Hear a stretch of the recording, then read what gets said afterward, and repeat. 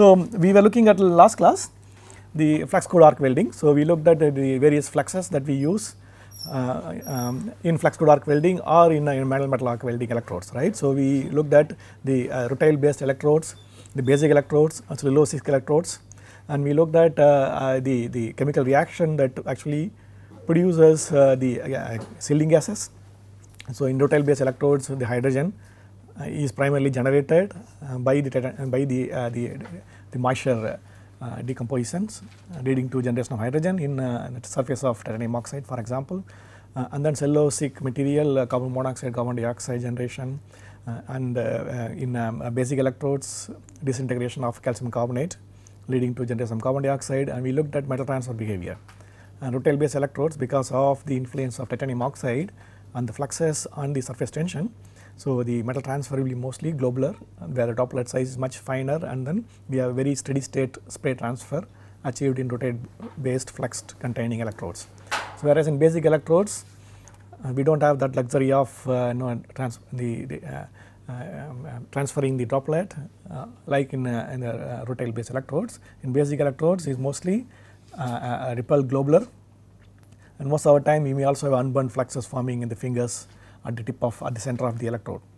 Okay, so we looked at uh, various modes of uh, uh, metal transfer in a video. Okay, in while welding and self shielded flux core arc welding electrodes. Right, self shielding means again we do not use external shielding gas. Shielding gas is generated while burning the flux.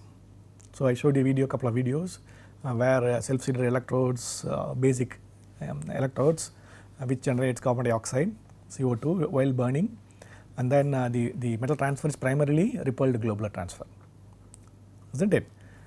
And then we stopped uh, the, the last class uh, uh at the slide where I showed you the advancements that are made in GMAW. Okay. So, we looked at uh, the one slide. Okay. So, we will see elaborately in this class some of the advances that are made to make the process much more stable.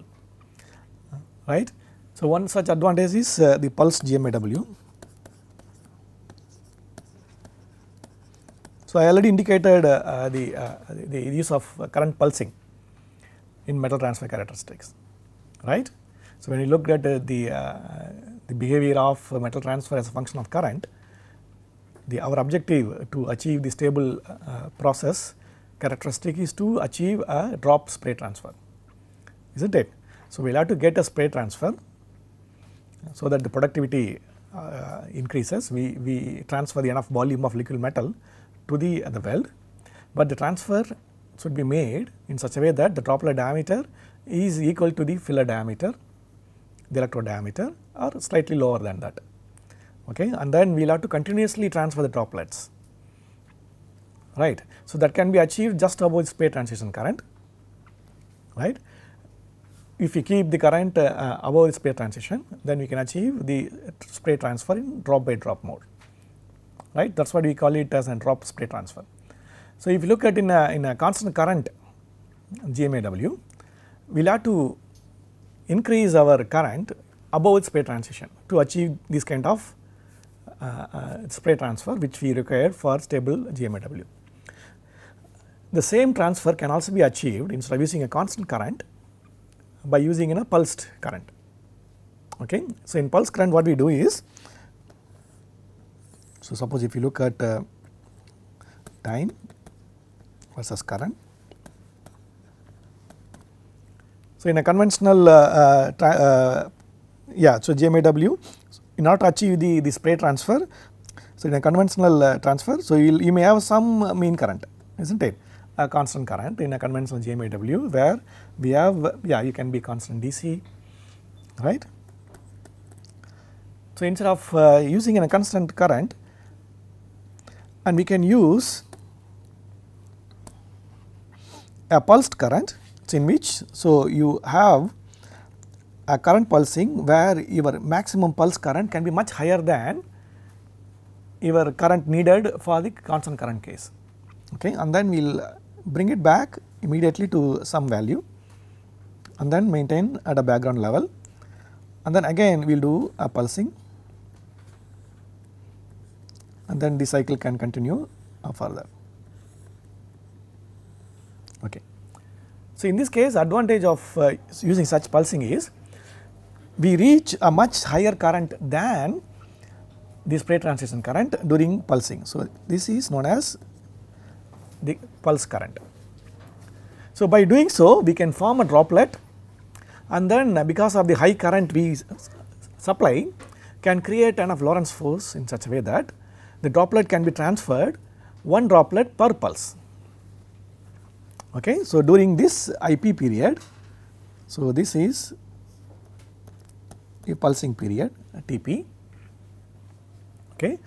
So, during this TP we increase the current to IP and then one droplet can be detached and immediately the current can be decreased to a background level which is IB.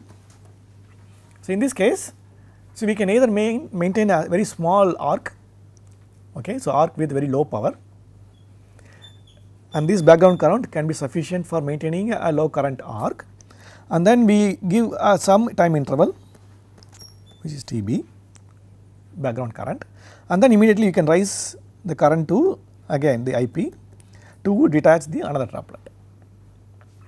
Okay. So, now advantage of doing this is if you take an average the current over uh, one cycle, one cycle is one cycle time.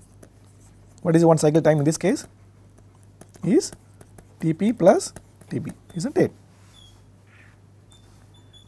If you take the average current over this one cycle, okay, it will be much lower than the current what you use in a constant current case, is not it?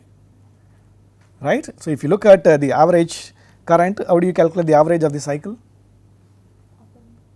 Hmm? Suppose if you want to calculate the I mean,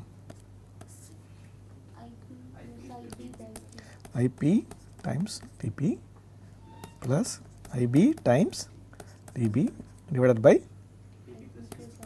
Tp plus Tb exactly. So, if you calculate the average I mean it will be much lower than what you use in constant current case. That means that the amount of heat arc energy you generate will be lower than when you use a constant current. But by doing lower current you can still achieve a spray transfer is not it. So, you can achieve a stable spray transfer by supplying an average current much lower than so when you use a constant current throughout the welding process. Okay, so your heat input or arc energy decreases significantly without compromising your productivity and the process stability. Okay. So, such kind of waveforms are very widely used to achieve a spray transfer on GMAW process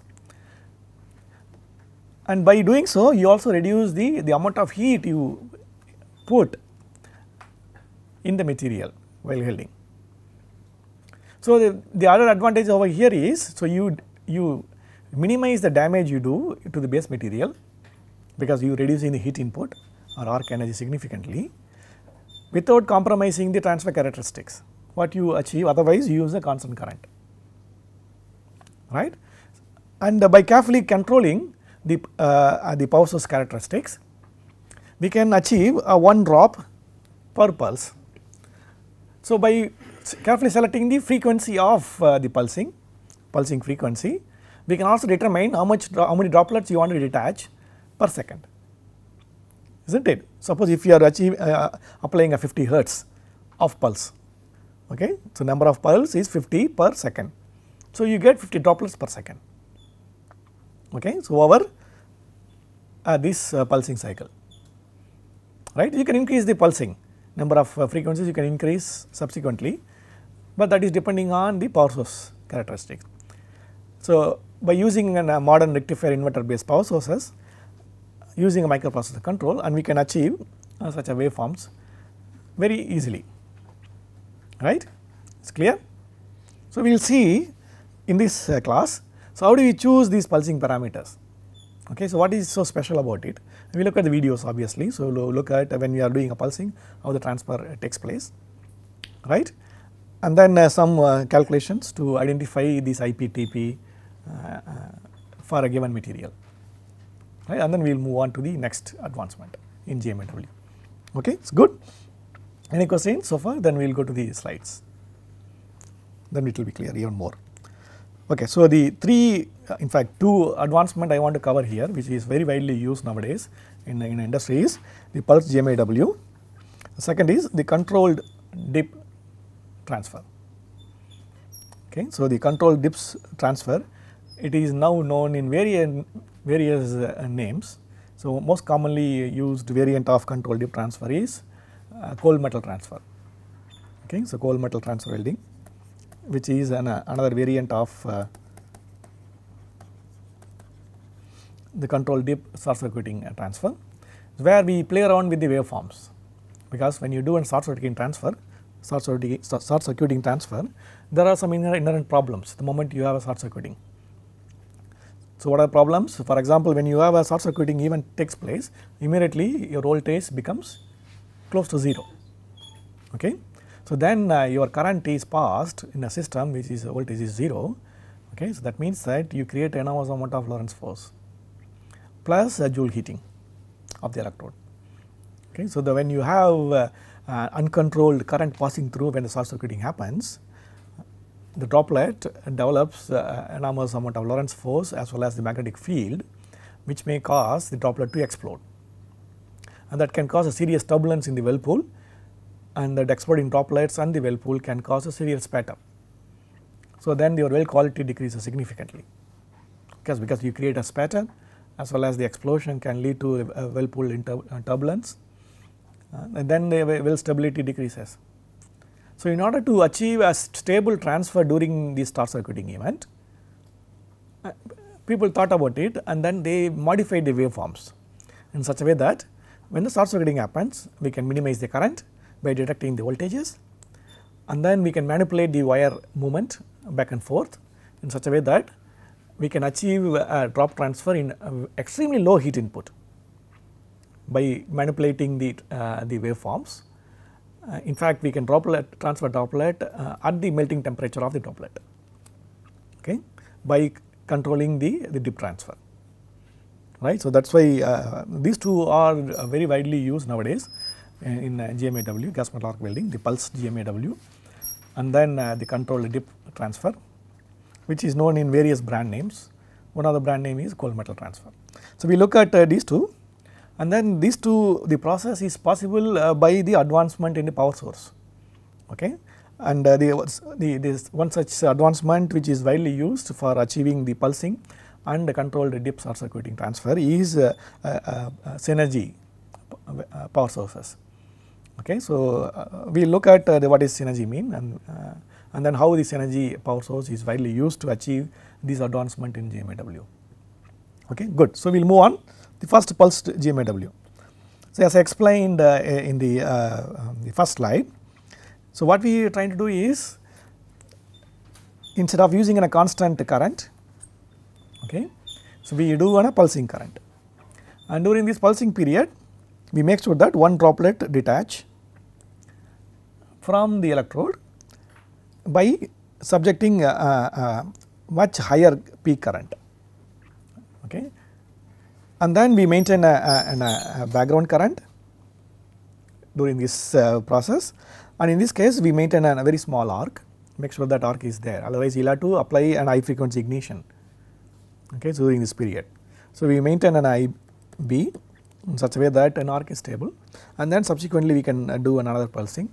And then achieve uh, subsequent uh, droplet transfers. Okay, so by doing so the total average I mean decreases significantly. For example, in a 1.2 mm carbon steel, so if you achieve an, uh, a drop spray transfer is about say 200 amperes. You, you could achieve uh, by pulsing in as low as 70 amperes. The similar transfer characteristics. Okay, so the I mean can be as low as 70 amperes. So you can choose by playing around the, the IP, the peak current and the background current and then peak time and the background time, we could achieve uh, uh, absolutely similar transfer characteristics at as low as 70 amperes. So, that is advantageous. Okay? So, because we are also not consuming energy and your transfer characteristic are much much uh, nicer than when you use an, uh, a constant current and you also have a much very stable process at a very low heat input right. So, we will see the video of uh, this process and then we will go to the physics of it right okay good. So, we will have to achieve a drop spray transfer. So, the, the characteristic of drop spray transfer is the droplet should be detached with a diameter similar to the filler and then it has to be continuous. You see that, so the arc is there, there is a background arc and we are transferring the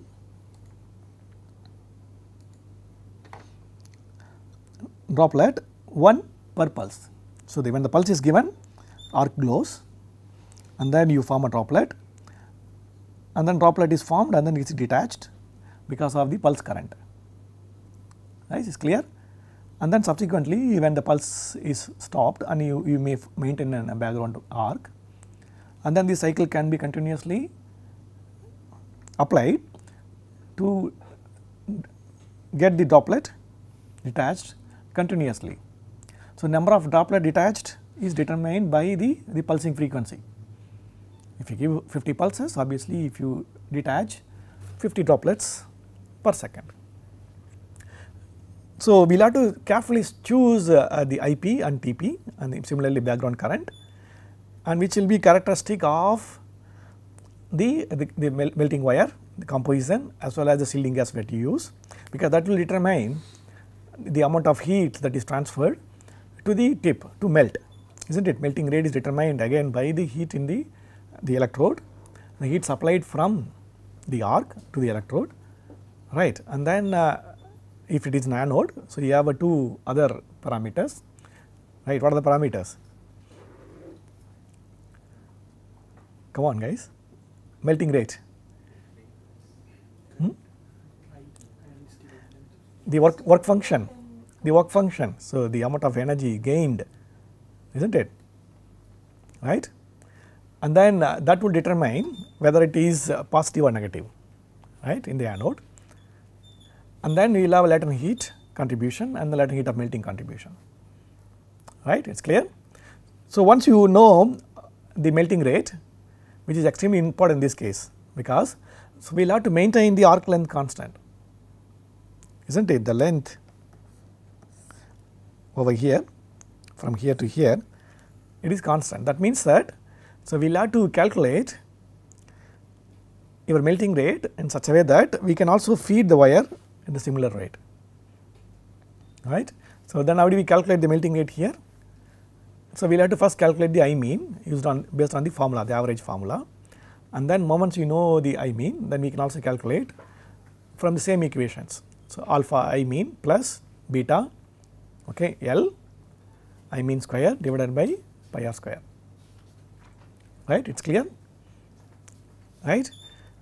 But now how do we choose IP and TP can we we can't choose randomly right. So, there must be some relationship. Right? For a given material and we will have to identify how do we arrive at the pulsing parameter. Right? Then we can do that. Okay. So, we can also get uh, the pulsing parameter predicted for a given material of uh, uh, diameter whatever we need right. So, we will quickly go on okay. So, this is clear right. So, we transfer a droplet per pulse right it is clear. The objective of this pulse GMAW to achieve a spray transfer at mean currents much lower than the spray transition current otherwise we use it for the constant current uh, GMAW. And we maintain a small background current to main, uh, to have uh, uh, an arc otherwise you will have to apply uh, an high voltage or high frequency ignition during that period and that may cause instability. And during pulsing we increase the current much higher than uh, your spray transition current so that we melt the tip and then uh, transfer the droplet uh, by the increase in Lorentz force. Yes, it is clear? Good. So, this process is known to get a very stable transfer than the constant current GMAW.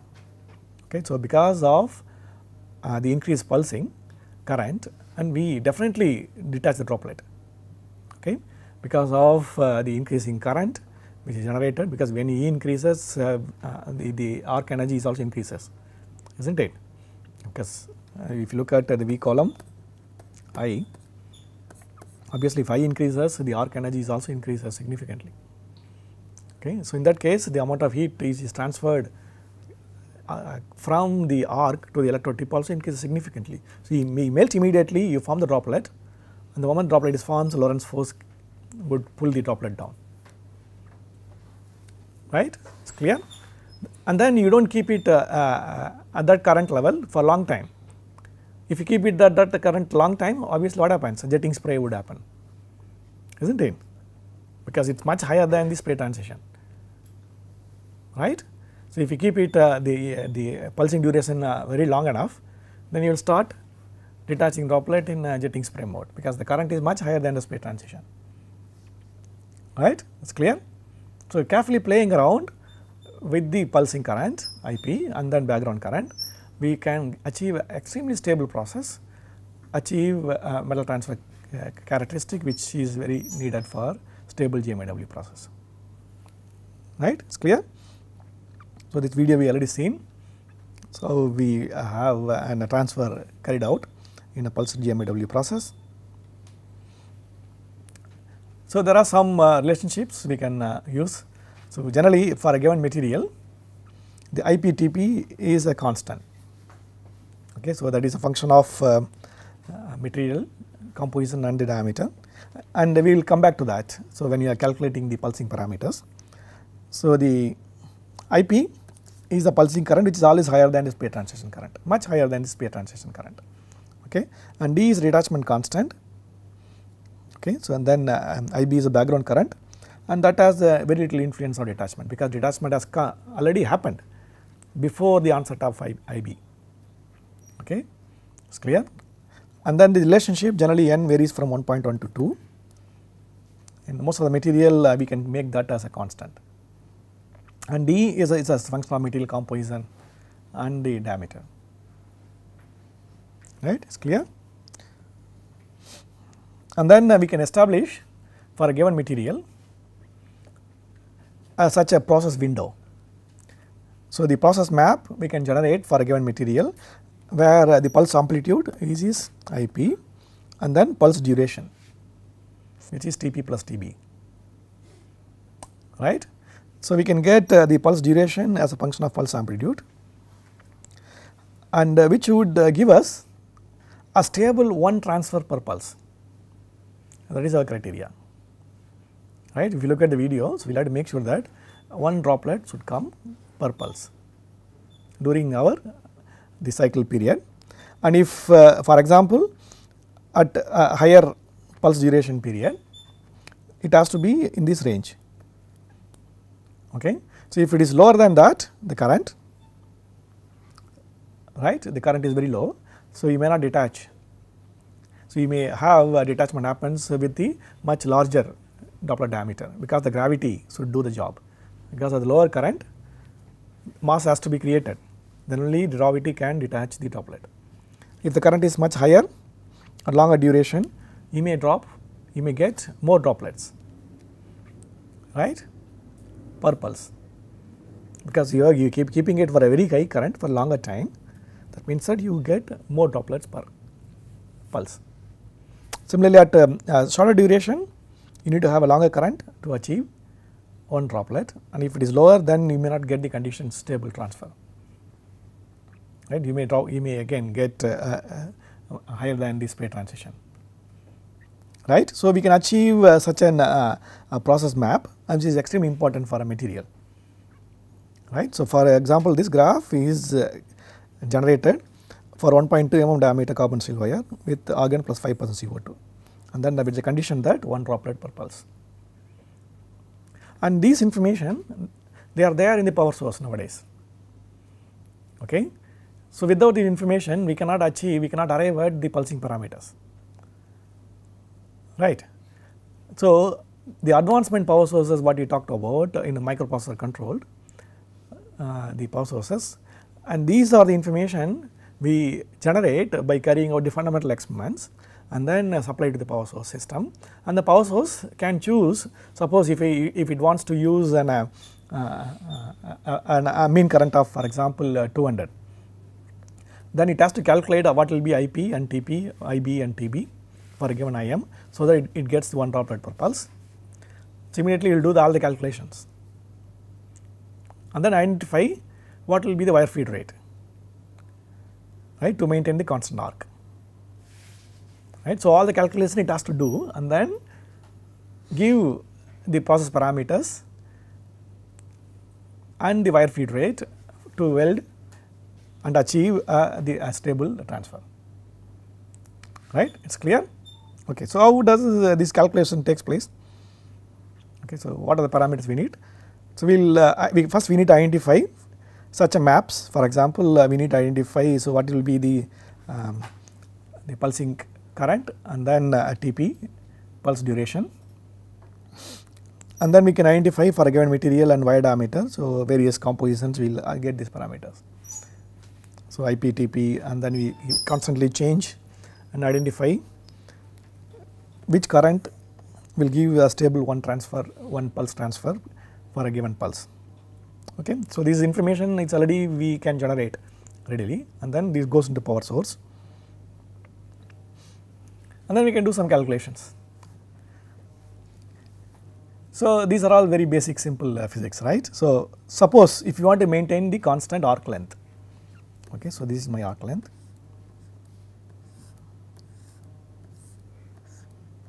okay. So, so this should be constant. So, that means that the melting rate should be equal to wire feed rate is not it. So, you supply what you melt. So, then the arc length becomes constant right and suppose if you are transferring at one pulse the length LD of the material. Okay. So, then basically the wire feed rate is equal to the frequency of pulsing times the length of the wire you transfer you melt is not it. So, what is F? F is the frequency right. So, that is nothing but the unit is mm per second is not it. So, basically how much mm you transfer in a second that is wire feed rate right is not it. What is per second here is a frequency right. So, frequency is number of pulses per second because you transfer one droplet per pulse. So, so this is a relationship we have right and then we have I mean relationship. So, what is I mean? The mean current which is IPTP, IBTP by IP plus TP and simple average is not it. So, when you have an pulsing current right. Now, these two we have and then we can select the pulsing parameter with these two. How do you do that? So, first we need to get an IP and TP from the relationship the process window. The condition is I need one droplet per pulse right. So, that is a criteria and then you choose any mean current I mean okay. So, any I mean current we can calculate the wire feed rate is not it. How do you calculate the wire feed rate? Alpha i plus beta L I m square but pi r square is not it. Because I mean is this relationship okay, but we can calculate the wire feed rate right. So, once we know wire feed rate we can also calculate from the wire feed rate the frequency f because what is the relationship between f and frequency is not it and the droplet diameter it is the fill diameter we can assume is not it or we can also establish the relationship between the wire feed rate versus frequency and you can choose. So, what will be WF relationship. So, we can choose the F from uh, the W. The once you know F we can calculate what is the background time we need because we know IP and TP we know TP already is not it. So, we can get TB which is nothing but so TP plus TB is equal to 1 by f, is not it? Is it not? That is a frequency. So, f is equal to so 1 by Tp plus Tb. So, from that we know Tb, we need to know Tb because background current we do not know. So, f we know from W, W we know from Im, is not it? So, Im we know from the relationship one droplet per pulse, right. So, once you know the Tb, all the unknowns are now known except the background current, is not it? The background current can be solved from the equation. So, we know Ip and then we know Tp, we know Tb, the only unknown is Ib, Ib calculated, calculated from the, the average equation, right, good. So, these all calculations are done in power source nowadays. Okay, so, when you want to establish your own uh, pulsing parameters, we will have to do all these calculations by ourselves. So, that is what when you are now buying the power source, the company they also sell the welding parameters and you will have to pay for that. Okay. So, suppose if you want to uh, weld an Inconel 625 using pulse GMAW and you can uh, have to contact the, the power source manufacturer and they will give you a simple program and that program you need to load to the power source and that, that program contains all the calculations okay and then uh, you know it will also identify what diameter you will use because diameter is very critical because that determines your LD. So, for a given LD okay so you will have to identify W and W again is determined by the compositions because composition contains your H Cp right is not it latent heat of melting is there and then Cp is there that will be used to calculate the melting rate is not it. So, melting rate then once you know melting rate and we will also need to keep the constant arc length. So, the wire feed rate is identified right and then uh, for a given composition the database also contain. So, what will be the IP relationship between IP and TP the process map I showed you the graph. So, once you have uh, the IP and TP is known W is known F is known and then TB is also known once you know IP TP TB you can also call IB and then you get the all the parameters you need for uh, pulsing. Okay. So, once you know the calculations then uh, the power source can feed all the parameters and the wire feed rate to achieve the droplet transfer in spray mode at a constant arc length right it is clear. So, this is how we establish the welding procedures specifications. So, the money goes when you buy a power source and database for this right. If some company suppose if you approach us, so we need to develop a welding process parameter and we will do all this exercise.